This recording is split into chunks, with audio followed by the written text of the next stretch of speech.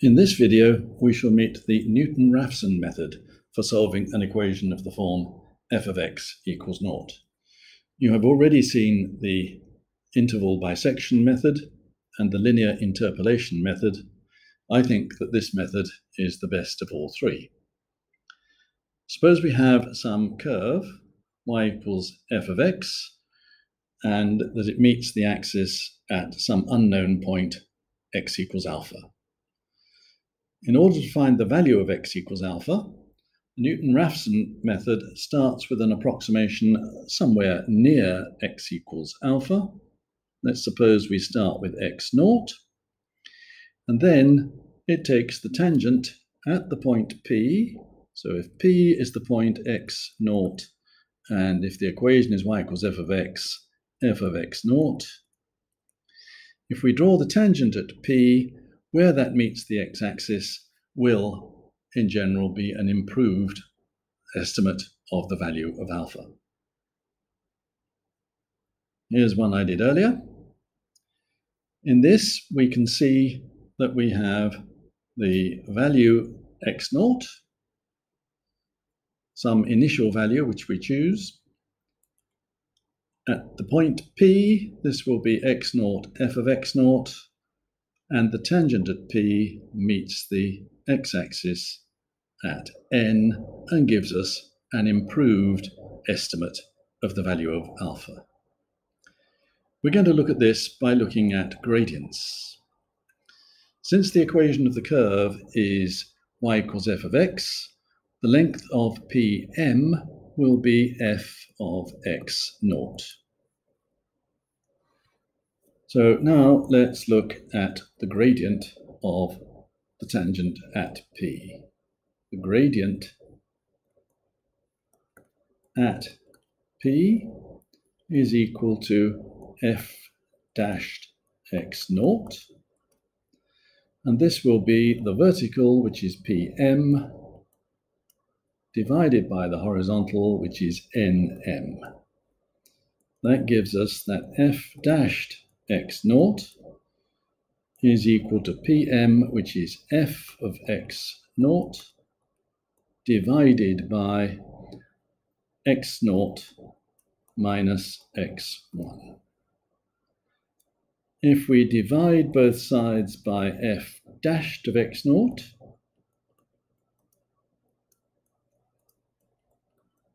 at the same time multiplying by x naught minus x1. We have that. And if we solve that for x1, we get x1 is x0 minus f of x0 divided by f dashed of x0. We can repeat this many times and Provided that our first approximation is sensible, you can see that we will start with x naught, take the tangent where x is x naught, my next approximation is x1, take the tangent at the point where x is x1, where that meets the x-axis with my next approximation x2, and you can see that in this case, we're just going to get closer and closer and closer to the point alpha. We can summarize all this with the iteration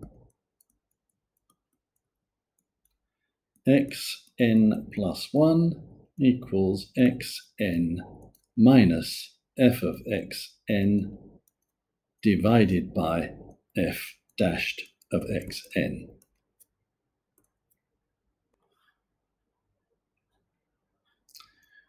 Okay, let's illustrate this with an example.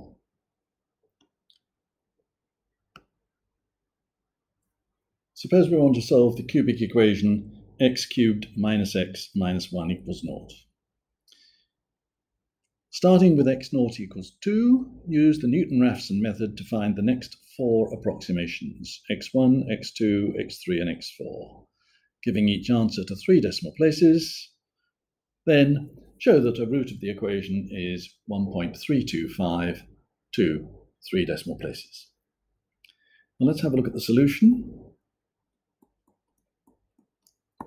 Newton-Raphson tells us that xn plus 1 is equal to xn minus f of xn divided by f dashed of xn. And we're starting with x naught is 2. So f of x is x cubed minus x minus 1. That means that f dashed of x will be 3x squared minus 1. To find x1, starting with x naught equals 2, x1 is equal to x naught minus f of x naught over f dashed of x naught, which is 2 minus, and then on the top we've got 2 cubed minus 2 minus 1, and on the bottom, we've got 3 times 2 squared minus 1. That gives us 1.5454 going on forever. In an exam, you must show the numbers in the first approximation. If you've entered this correctly on your calculator using the answer button, now you can just keep pressing the answer button and you will get that x2 is equal to 1.3596149, which if we're going to give three decimal places is 1.360. And we do need the zero. x3 is equal to 1.3258013 dot dot dot. And that is 1.326 to three decimal places. And x4 is equal to 1.324719 dot dot dot. And that is 1.325 to three decimal places.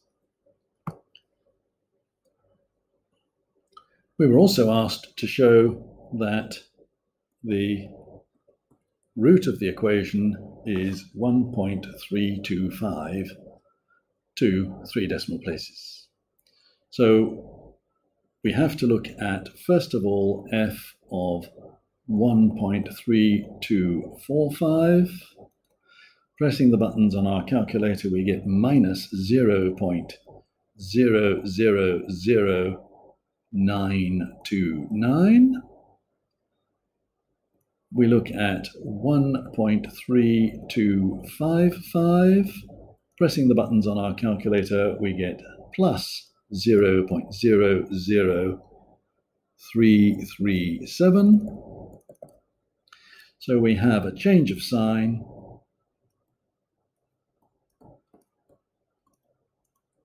we have a continuous function. Therefore, there is a root in the interval. 1.3245, 1.3255, and because we chose the interval in the way that we did, this means that the root is 1.325 to three decimal places. As I said, this is a very good technique.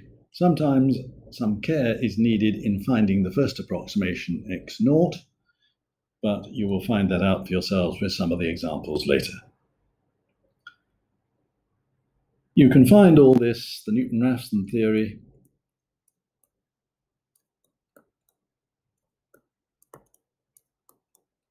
in your textbook,